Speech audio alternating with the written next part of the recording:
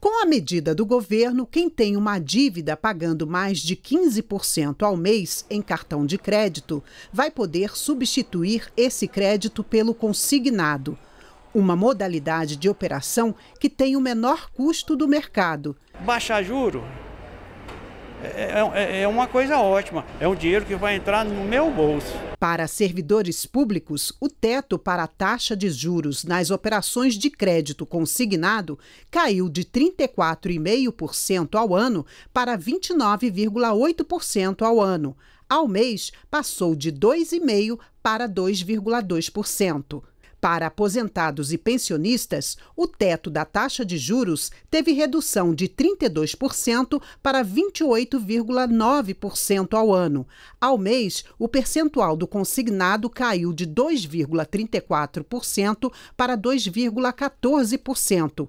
O corte também vale para o cartão de crédito. A taxa passa de 3,36% para 3,06% ao mês. Para substituir uma dívida pelo crédito consignado, é preciso ter, no mínimo, entre 20% e 30% do contrato já pago. E o primeiro passo é se informar sobre o saldo devedor. Essa gerente de uma empresa financeira explica como fica a substituição do empréstimo de quem financiou a juros mais altos. Pega o saldo devedor no banco de origem, procura um outro banco ou uma financeira. Essa financeira vai fazer a pesquisa de mercado para ele, para ver qual o banco, que, o banco que tem a taxa mais baixa que cubra o saldo devedor dele. Tem que pesquisar entre as mais de 50 instituições financeiras que oferecem esse serviço e que são credenciadas pelo INSS, qual a que oferece o melhor, a melhor taxa de juros, ou seja, aquilo que vai ter o menor impacto no seu pagamento e, portanto, que ele consiga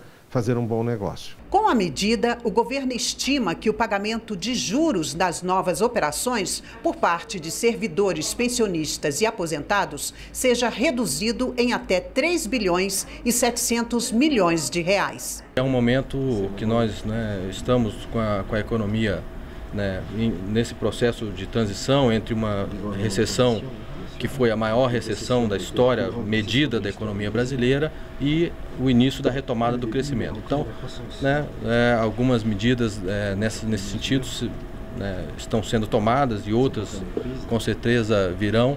É, de modo a abrir espaço para que as famílias voltem a, a, a, ampliar o seu consumo, tenham redução dos custos financeiros e que a economia brasileira volte a crescer é, rapidamente.